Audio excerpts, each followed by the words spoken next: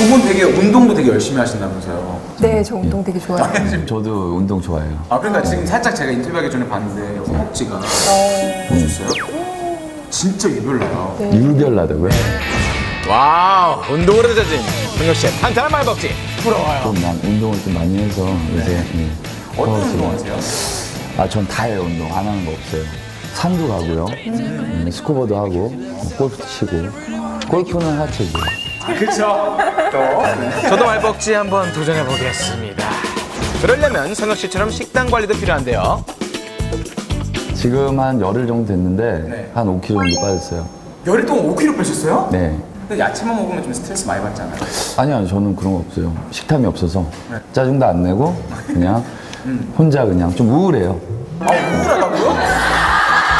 아이고? 한지혜 씨 역시 슈퍼모델 출신답게 늘씬한 팔등신 몸매를 갖고 계시죠. 몸매 비결 좀 필라테스 알려주시와요. 하고 수영도 하고 요가도 하고 뭐 아 근데 다양하게 하시네요. 등산도 하고 가장 그러면 아, 이게 효과가 좋다는 운동이 있어요? 저는 필라테스가 제일 잘 맞는 것 같아요.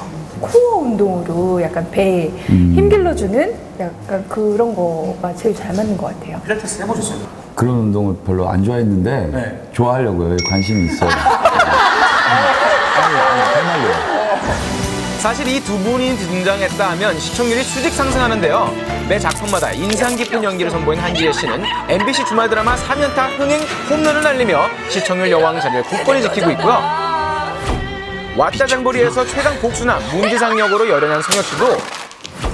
차기작에선 로맨티스트로 변신 30%가 넘는 시청률을 기록하며 흥행 메이커로서의 입지를 단단하게 다졌습니다. 나오면 기본적으로 20%는 깔고 가요. 아닌가요? 시청률? 왜 이렇게 겸손하세요? 아니, 아니, 아니요. 제가 나와서 30%가 나온 건 아닌 것 같고. 글쎄요. 근데 한 몫은 하셨잖아요. 시청률 올리실 때, 아, 요건 조금 시청률 나오겠네 하는 그런 기준이 있어요. 감독님하고 작가님이 전작이 잘 나오셨습니다. 아, 그렇죠. 전략적이지. 데이터 분석. 성혁 씨는 기준이 있어요. 저 이거 플러스. 저를 지적받고 있고 지금. 아, 친해지려고 얘기하는 거예요.